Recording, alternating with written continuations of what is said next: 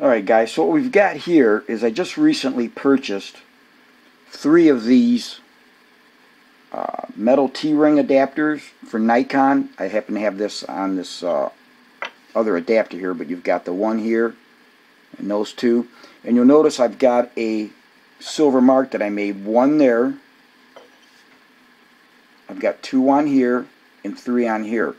And the reason for that is to distinguish these when I show my test here, or show the results of these three. They all fit different.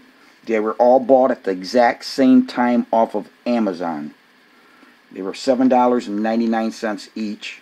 I did notify the company, or, uh, you know, Astromania about this. And uh, I'll tell you what their initial uh, questions or answer was to me. And so, what we've got in these three that were bought at the same time, extremely poor quality control. Each one of these fits different. So here's what they said. Thank you for your order. We learn about your situation from the message you left, which we attach great importance to. Each product is manufactured according to a fixed quality control program that the process production error is controlled by 0.1 millimeter. So we are surprised that you have encountered problems and we will and we will feedback them to the production department to ensure a better experience for the customers. In response to your questions about a Nikon adapter not going on your camera body, could you please provide us with the following information, which will help us solve your problem faster, improve your products. And then uh, let me just add the following here. I let them know that uh, this isn't my first rodeo. Been taking pictures for 55 years, okay? Had Nikon equipment since the mid 80s. Tons of lenses. Uh, I currently have in the DSLR or, or in uh, cameras, they're f2, f3, two f4s, an f5, D70S, and just recently a Nikon D850. So let me go on with what they've had to say. The installation of ring adapter is the opposite of installing camera lens. Whatever the fuck that means. Like most telescopes, and I added that part. Like most telescope adapters on the market, clockwise is the direction of tightening. The T-ring may be stuck due to the wrong angle of rotation or failure of spring plate inside the camera buckle. So could you please reconfirm that direction of rotation is clockwise in the tightening process? And again, when they say clockwise, I'm not sure what they mean because let's take this camera here. Let's take this camera. This is my F3. Now, when these go on, you put it on like this and you rotate it that way. That's how they all go on. Put it on, rotate. So, I'm not sure what they mean. So I, I couldn't put much faith in that question. You know, what's clockwise? Is it viewed from the front? Is it viewed from the top? I mean, I don't know. Second, for the uh, okay for the second and third Nikon adapter you mentioned that have problems during the installation process, could you please provide us with a video? I did say I would I could do a video for them uh, by email address as shown in the attachment, and we will then be better positioned to uh, to be able to adequately respond to your case. We're waiting for your reply. Regards, best regards, Jacqueline Astromania Astromania Optics. So next we're going to do this. And the reason I've got these marked, and we're going to do this all in one big clip. We're not. I want to make sure that there's nothing that I'm doing. Okay, that's why I got these marked one, two, and three. Because I wanted to make sure that I could prove that each one of these are different and I'm not changing anything.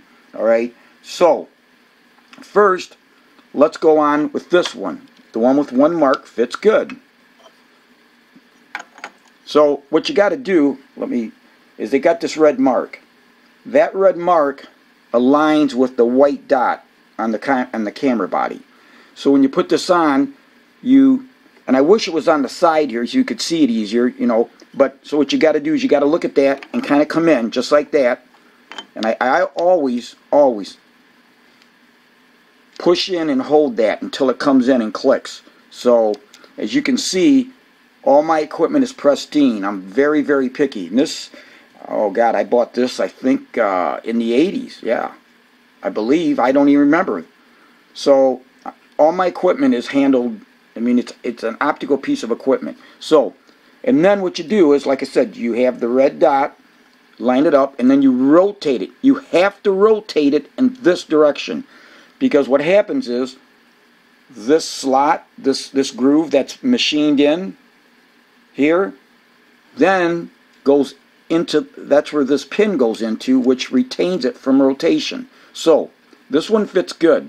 So we're going to line it up like that. Then we're going to go like this. And there it is. And that fits good. No slop, no play. This is perfect. All right. So now let's go on to the one marked with a 2. And I'm going to put it on this other adapter. Okay, now you can see it's marked 2. I don't know how well this will show up, but this has some slop to it. So there's the red dot. Put it in there, just like that.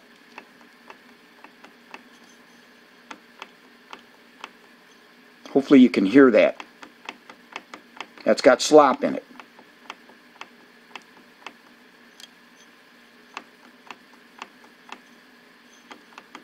Okay, so now let's take this one off. And now let's try number three. Number three won't even go on. I mean, it, it just like, I'll show you here. So, number three, those three silver marks that I've made with a Sharpie marker. Here's your red dot. Put that on like that. Now, so let's let's make sure we've got this lined up and it's flat. There's only one goddamn way this can go on. They said something about an angle. You put this on until this mates flat to the surface. So I don't know what they were talking about. You know, how I don't know how she do it. I, whatever, okay? So you put it on here like this. And then that's all the further this thing goes. It will not go any further. I could take a 48 inch pipe wrench, a Ridgid pipe wrench, which I have down in my basement, and it still won't go on. Of course, I'm being sarcastic when I say that, but you know, there, and it's flat, and that's it, right there. Okay? Now, this is freaking amazing. Again, three different adapters, well, three, three of the same adapters bought at the exact same time. All three have a different fit. That's what I call piss poor quality control. When you can get three of them at the same time, these are three examples out of whatever they, whoever, wherever they had them, picked them out of a bin, you know, on a shelf from Amazon or whatever, and all three fit different. And again, like I said, I wish they had the mark out here. So you, there, and that's it. That is it.